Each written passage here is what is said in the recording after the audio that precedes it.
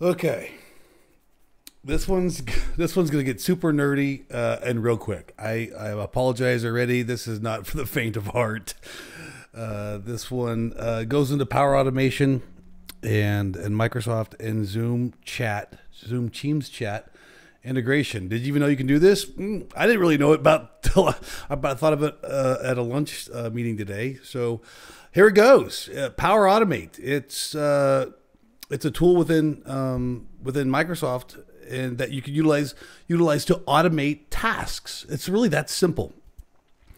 Here's my idea. Here's my idea. Zoom Teams chat, Zoom Team Chat and Microsoft Teams obviously have a Mio integration from from a chat perspective. Uh, I want to take it to the next level and integrate it from a file perspective. Here's an idea. How since we can use Zoom Team Chat and integrate it with SharePoint, what if we power automated a way to create that synchronization between Zoom and Teams? Here's my idea. Throw it out there. This is literally, I've never run this by anybody. this is being me being a nerd. I'm going to share. Am I sharing my screen right now? Yeah, I'm going to share my screen right now, and I'm going to do a couple things. Uh, we're going to let's. Can we pull this over? Let's pull this over.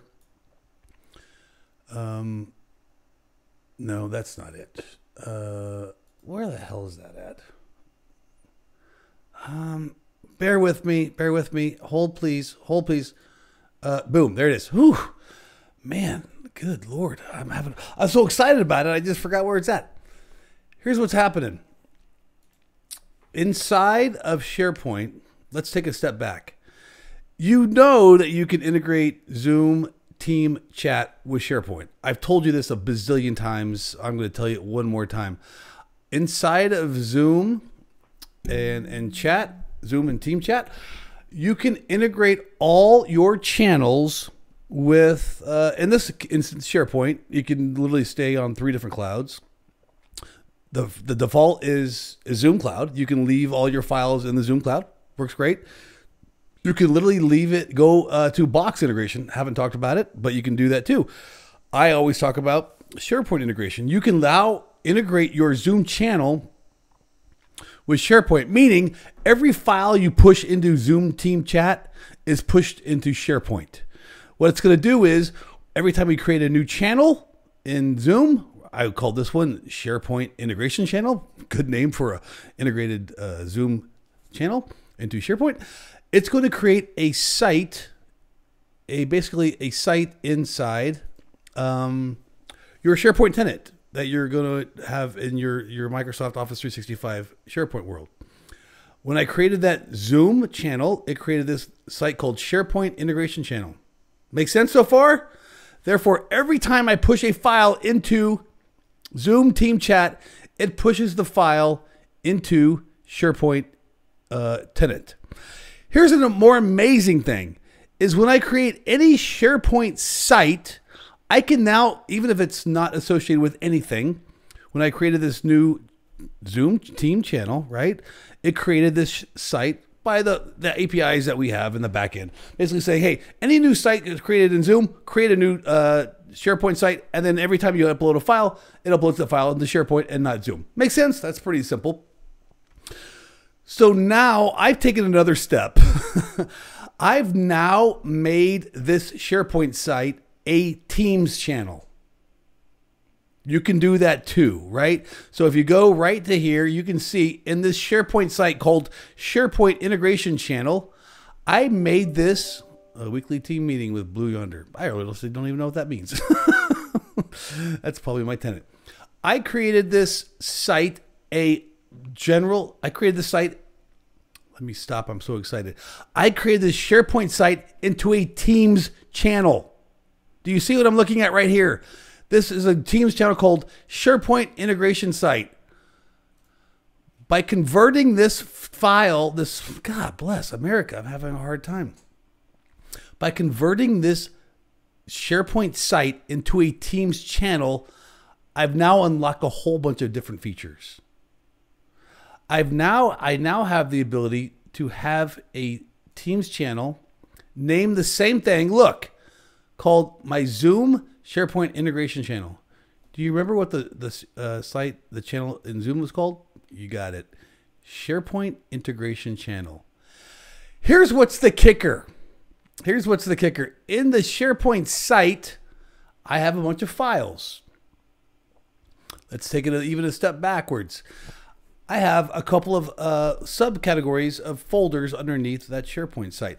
By default, the documents is the first folder, and I have all these files in documents. Makes sense? All these files that I've uploaded into the Zoom SharePoint integration channel were automatically uploaded into the documents folder. You can see that here because if I go to more actions and I go to SharePoint files, look at all all those uh, files are right here. All those files are right here. Makes sense. They're all right here too. They're in the SharePoint file. Here's what's the cool thing. If you look at Teams, when you create a Teams channel, you actually create a subcategory called General. And what this does in SharePoint, it creates a folder called General. Look at the files right here.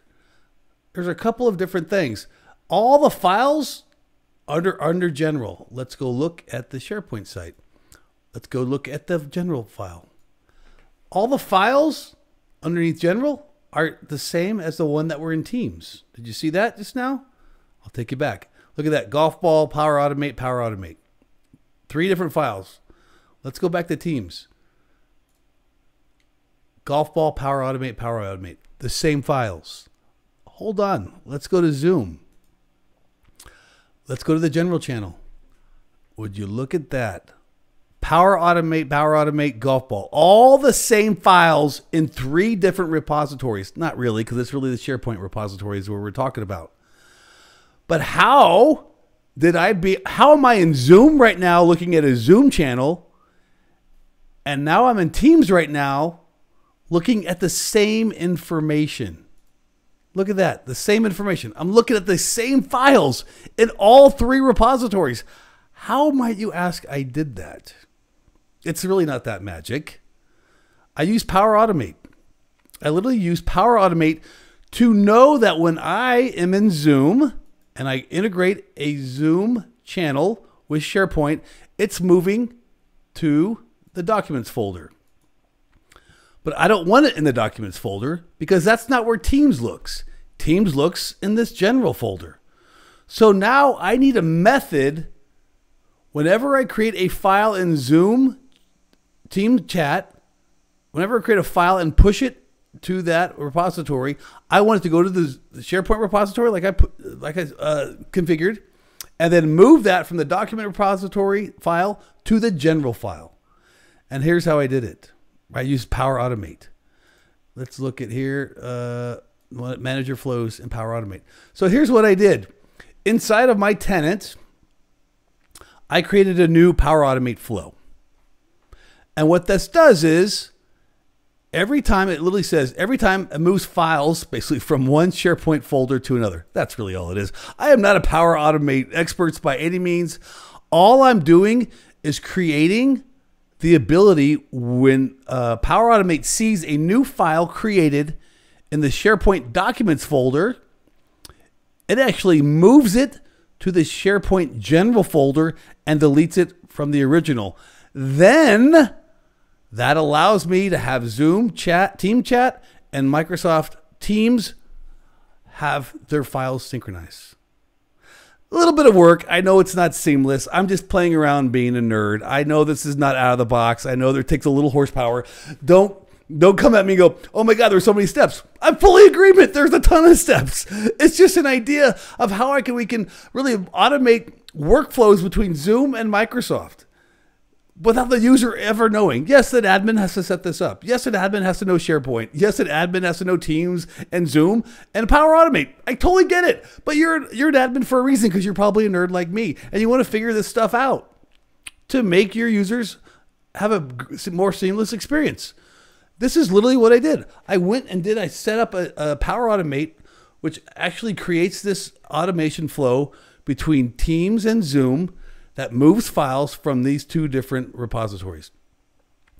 Is it rocket science? No, it's not rocket science. all I'm doing is moving files from one folder to the other. But it also runs automatically. And you can see this right here. I've literally run uh, all the runs. I literally run this a couple of times and I just got so excited I just started a video. So look, let's go back to real quick to um, to my uh, mm-hmm. Jeez, my knees. Let's go back real quick and we'll pull this up. So right here, I created a, a couple of different flows, right? So I created this Power Automate document. I literally created it in Zoom. I've shown you how to do this before. I literally just went to File, created a new Word document. This Word document is literally just a Power Automate Word file. That's all it really is. I'm just testing running a Power Automate flow. Once I created that file, it created that file in that SharePoint site in the document folder. Then, as you just saw, it said, hey, move one file from one folder to the next. SharePoint, the Power Automate, saw that the file was in documents, then created a, a flow that moved that file to the general documents, and then deleted the file from the documents uh, uh, folder. What this then created, right, is if we were go to, again, Teams, in the general folder right here, the same files literally are in both folders. Do you see that? Can we get this a little bit little smaller? Let's go. Look at this. We'll make this smaller and we'll make this smaller. So now we have SharePoint, all the files, golf ball, Power Automate, Power Automate, Word document, PowerPoint document. All the files are in Teams that I literally just created. And you know what I'm going to do next. All the files are in Zoom. Power Automate, Power Automate Golf Ball. Like, if you're not if you're not a super nerd and think that's exciting, I I don't know, maybe you shouldn't be in the nerd business. I love that. Is it usable? I don't know. I'm just throwing out technology. It's Monday at, at 7:30. I just thought it was fun to show you how I did it.